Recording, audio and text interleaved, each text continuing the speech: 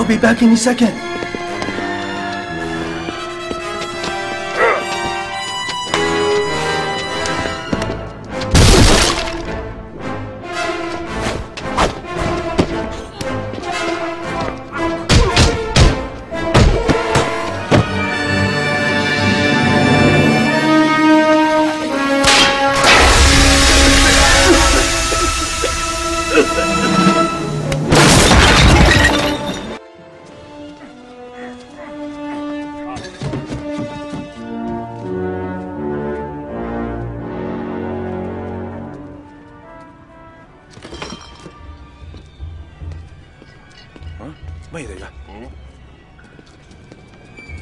Special delivery.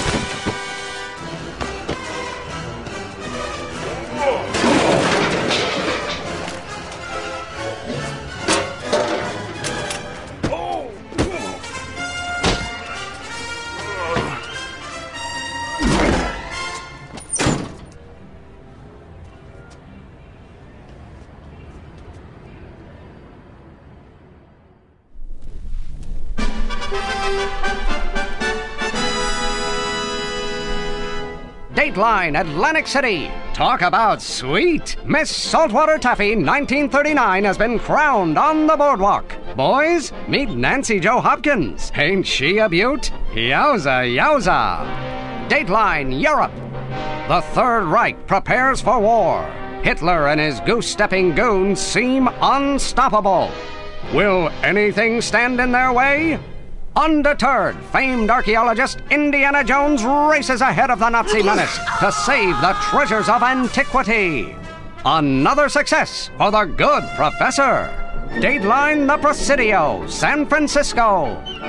Back on the home front, those artisans of electronic entertainment at LucasArts have been hard at work researching scientific advancements for the new generation of gaming consoles. Long entrusted with the name and likeness of Dr. Jones, these sultans of software have just announced a new invention called Euphoria. This newfangled biomechanical AI will give the world a never before seen game experience. With Euphoria, players will get a new surprise every time they press a button. As this rare color footage shows, these thugs are no match for the pugilistic pounding of our intrepid hero. Using this biomechanical AI breakthrough, you, the player, will be able to experience the same danger and excitement of the real Indiana Jones.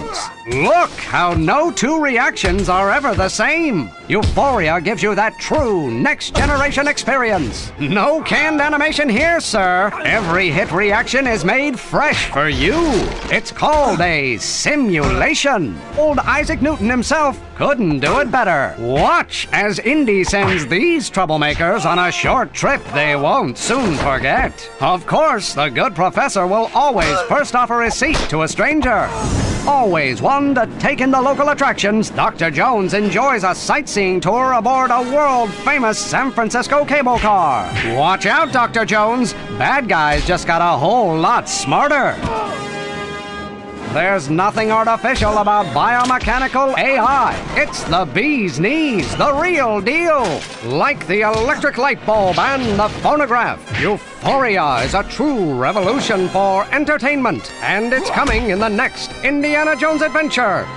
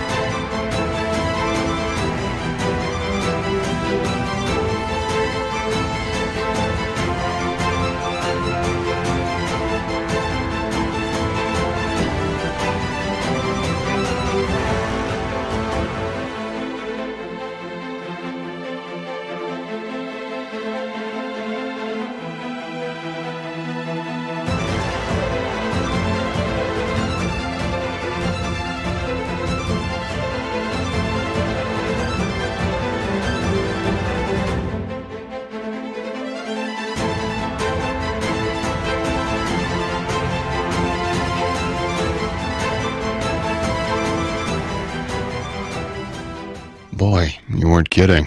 They've been tearing the place apart for weeks. I don't know what they're after, though. Hmm, I do. They're not gonna find it here. I don't suppose you know a way around those guys, do you? As a matter of fact, there's a path up along that ridge. We could slip by with them none the wiser. Well, all right then. Ladies first.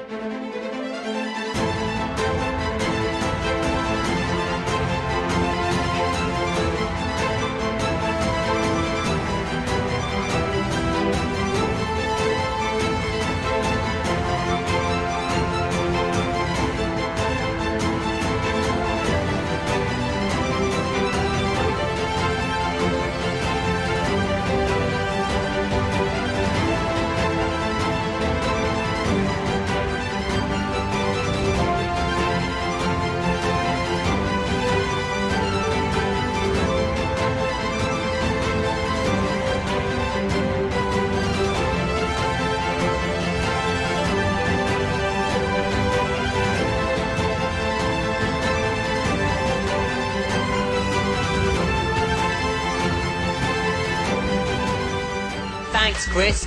Also viewed at E3 was Indiana Jones. This guy's always pretty cool, going foreign lands and finding treasure. Uh, what we saw at E3, however, involved him beating up thugs in the street and smashing them through car windows. Out of character, perhaps, we were nonetheless impressed, as wood splintered and broke like real wood, glass smashed like real glass, and the character AI was so good that if you threw someone up in the air, they'd try and grab hold of a ledge to stop themselves falling and then be left there dangling. Or if you set off some explosives, they'd affect the environment dynamically, with something different happening each time. So it was a great demonstration of a next generation game engine. At E3 this year, we announced that we're working on Indiana Jones for next gen. It'll be coming out in 2007. It's a game I'm personally really excited about. I'm an Indy fan. Uh, and I think, uh, as George has said, there's no better character suited for video games than Indiana Jones. I mean, if you remember one of the taglines from the movie was, you know, if an adventure has a name, it's Indiana Jones.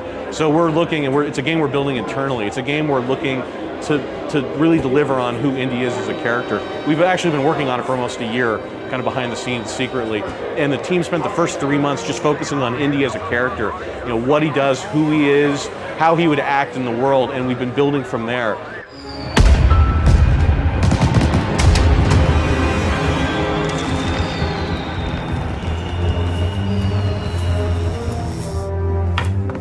Hey, I heard you were looking for the boss. well, you're gonna have to go through us.